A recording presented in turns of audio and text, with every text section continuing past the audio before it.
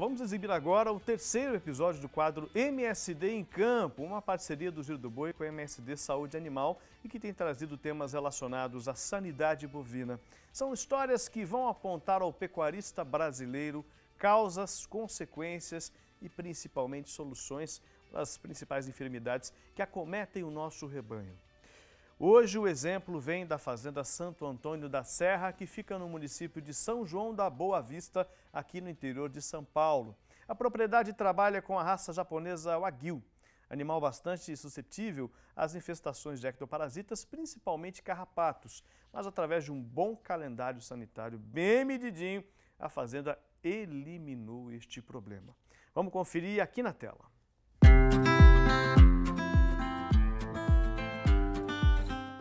Meu nome é Tiago Carneiro, sou médico veterinário, trabalho aqui na Fazenda Santo Antônio da Serra de criação de Wagyu é, já há sete anos.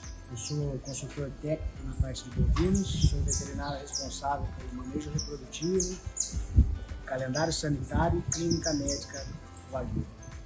Wagyu é uma raça hoje que vem agregando muito valor no mercado da carne nacional é um bicho que nasce já com muito valor agregado. Então nós temos um programa de seleção genética alta aqui na fazenda, para que a gente possa sempre ter os melhores animais a serem abatidos aos seus três anos. É, é, um bicho que nos dá muito, porém é um bicho extremamente muito sensível. É, onde o complexo de tristeza parasitária bovina passa a ser muito é muito importante para a gente manter a sanidade desse bicho do Wagyu em dia. É, então eu entrei é, há sete anos para elaborar esses, esse calendário sanitário e tive é, ajuda da MSD com o produto Tick Garden, esse programa de ecto e endoparasitoses, me ajudou demais no controle é, da tristeza parasitária bovina. Eu posso dizer que hoje a fazenda tem um controle efetivo desses parasitas. Bom, essa é a ferramenta então do disco do carrapato que a gente usa bastante nas propriedades e fez bastante uso aqui na fazenda.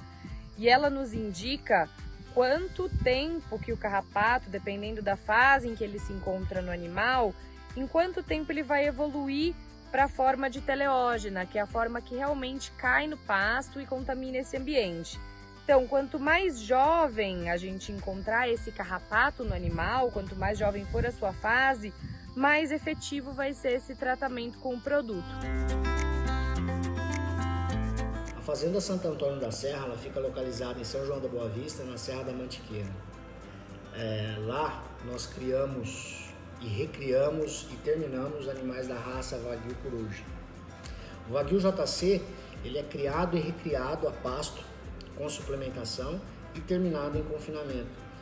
Nesses, nesses dois sistemas de, de, de produção, nós não utilizamos nenhum antibiótico que possa ser introduzido na dieta desses animais. Então, o nosso objetivo é criar, produzir carne no clima da Serra da Mantiqueira sem utilização de antibiótico alimentar em hipótese alguma.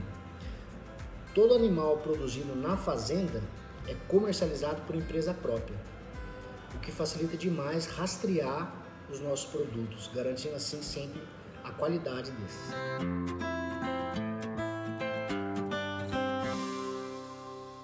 Show de bola, hein? Raça espetacular, trabalho espetacular e, obviamente, essa atenção com relação à sanidade tem que ser redobrada, principalmente quando a gente fala de carrapato e ectoparasitas, né, pessoal?